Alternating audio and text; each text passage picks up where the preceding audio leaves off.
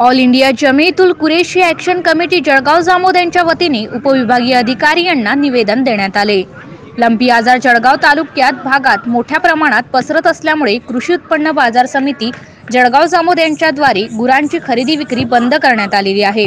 परंतु आता मोठ्या प्रमाणात गुरांचे लसीकरण करण्यात आलेले आहे तसेच सदर रोग हा आटोक्यात आल्याचे लक्षात येत आहे.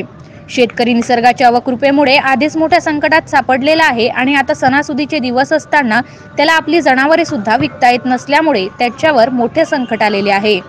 तरी निवेदनाद्वारे विनंती करतात की आसलगाव बाजार मार्केट यार्ड तसेच वरवड बकाल यार्ड या ठिकाणी भरत असणारे गुरांचे बाजार सुरू झाल्यास शेतकरी वर्ग तसेच व्यापारी वर्ग यांना दिलासा मिळेल.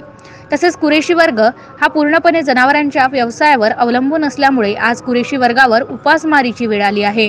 या सर्व समस्यांचा विचार करता प्रशासनाने योग्य दखल घेऊन जनावरांची खरेदी विक्री सुरू करण्यात यावी असे निवेदनात नमूद करण्यात आले आहे. यावेळी संघटनेचे सर्व पदाधिकारी व कार्यकर्ते तसेच कुरेशी बांधव मोठ्या संख्येने उपस्थित होते.